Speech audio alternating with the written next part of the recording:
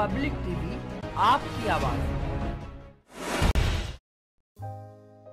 मुरादाबाद महानगर के बुद्धि विहार स्थित भारतीय जनता पार्टी के कार्यालय पर भाजपा युवा मोर्चा महानगर की कार्य समिति की बैठक आयोजित की गई।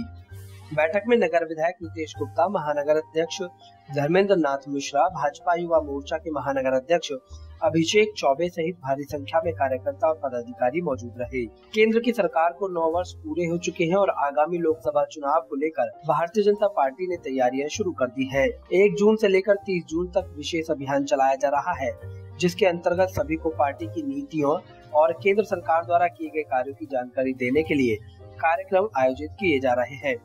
इसी श्रृंखला में भारतीय जनता पार्टी युवा मोर्चा की महानगर इकाई की कार्य समिति की बैठक आयोजित की गई। जिसमें युवा मोर्चा के पदाधिकारी और कार्यकर्ता भारी संख्या में मौजूद रहे।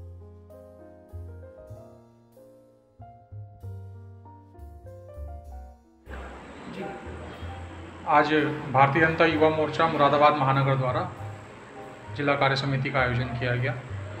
जैसा कि आप सभी को पता है कि आगामी 2024 में लोकसभा चुनाव होने हैं। और भारतीय जनता पार्टी एक 24 घंटे सातों दिन काम करने वाली पार्टी है।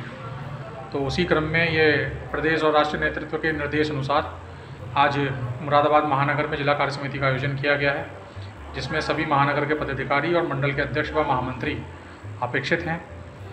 इसमें आगामी लोकसभा चुनाव से निमित्त जो अभी अभियान आया है, महासंपर्क अभियान, उसके निमित्त और आगामी जो भी अभियान जिन पर हमें कार्य करना है संगठन की और प्रदेश राज्य सरकार की जो भी नीतियाँ हैं उन्हें जन जन तक कैसा पहुँचाया जाए उसके ऊपर एक कार्य योजना बैठक का आयोजन किया गया। विधायक जी मौजूद तो इस कार्य समिति में दो सत्र थे।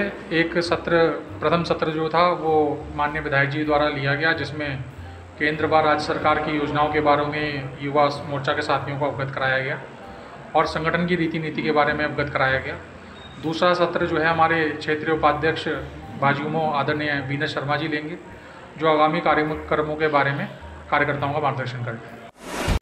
पब्लिक टीवी, आपकी आवाज़।